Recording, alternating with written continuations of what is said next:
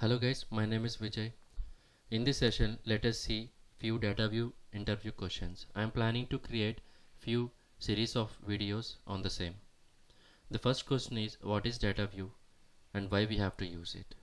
So this is the definition that I copied from MuleSoft documentation. It's a programming language designed by MuleSoft itself for accessing and transforming the, the data that travels through a Mule application. So we know that we use DataWeave to transform the data from one format to another format uh, and also to to validate the data. Also you can log the data from DataWeave or you can also call another flow from DataWeave. And also you can raise an error from the DataWeave. So DataWeave is the core component of mule4 and we we we write lot of DataWeave scripts wherever is required. So that's all about uh, what is DataWeave? What is the latest version available for DataWeave? So by the time I am creating this video the latest version of DataWeave is 2.4 list out frequently used DataWeave inbuilt functions. So interviewer might ask you uh, uh, based upon your experience right? They might ask you uh, what are all the functions that you have uh, worked in in the real-time projects okay you can list out the DataWeave functions that that you have worked on. So I have listed few uh, DataWeave inbuilt functions. And these are the functions that we use uh, very uh, usually right in the real-time project. So that that is what I have listed here. And remember one thing that based upon your response interviewer might ask you questions from the same. Okay if you if you say that okay these are all the functions that I have worked so expect some some more questions on the same functions from the interviewer. The fourth question is how can we invoke or call flows from DataWeave? So we can use lookup function but only constraint is that you can only call private flow but not the subflow. Okay? You can only call the private flow but not the subflow. So I have provided the link here. We'll see the demo on the same. Let's go ahead with the next question how to access a property in DataWeave. So we can use p function. By using p function we can uh, we can refer a, a, property file property that is uh, defined in the property file. So we'll also see a demo on the same. Let me go ahead with the demo for uh, the previous question and the and this question.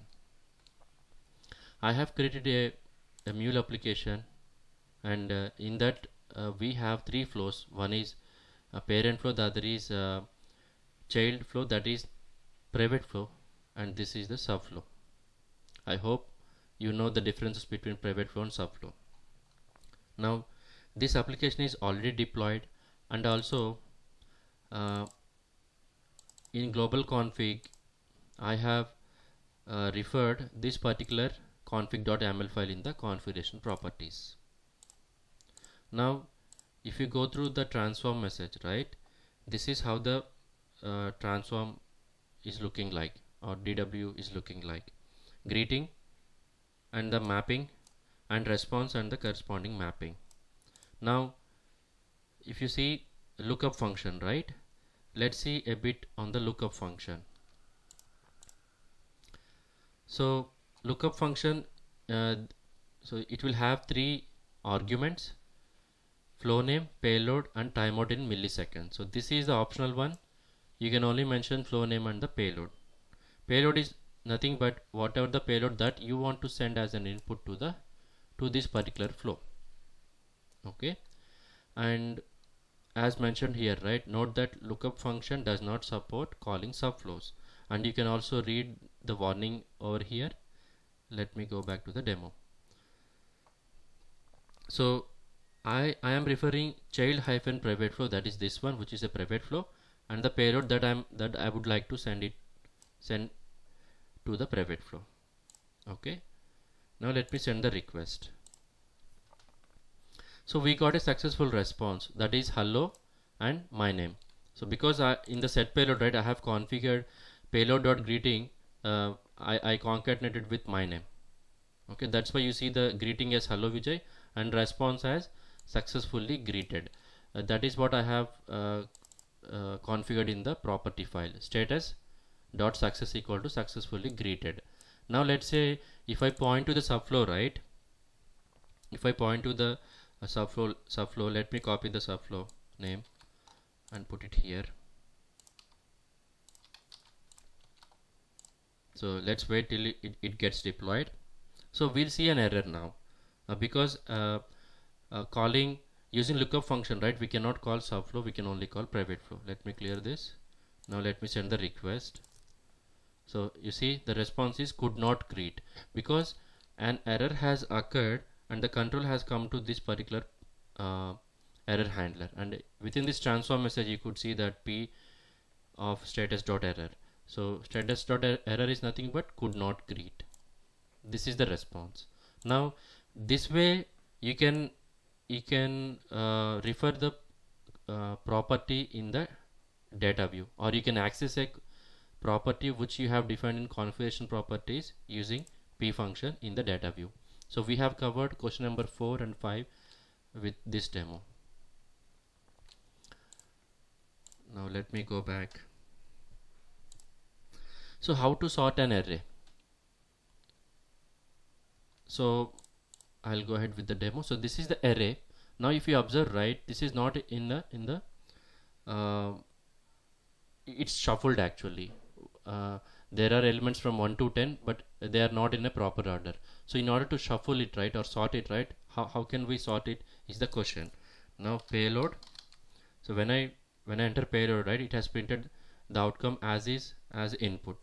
Now order by so you have to use order by function to sort the input array. Now you see uh, the outcome is in sequence in the ascending order. 1 2 3 4 5 6 7 8 9 10 okay? So this will be in the ascending order by default. Now sort the array in descending order.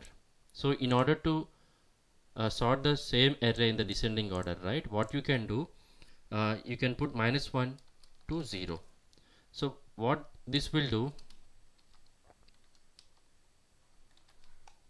Okay. So th this this actually um, it will start printing uh, your output in the in a reverse order. Okay. So minus 1 is for the last index to the first index after the sorting. Okay. So after sorting this particular uh, thing we are applying on the array. So this way you can you can sort the array in the descending order. Okay? So uh, yeah. So that way we have covered this question as well how to sort an array in the descending order. Now find the smallest and greatest number in an array. So this is uh, very easy right? Like now when you when you sort the array uh, simply by using order by function right? It will automatically um, I mean displays the output in an ascending order right?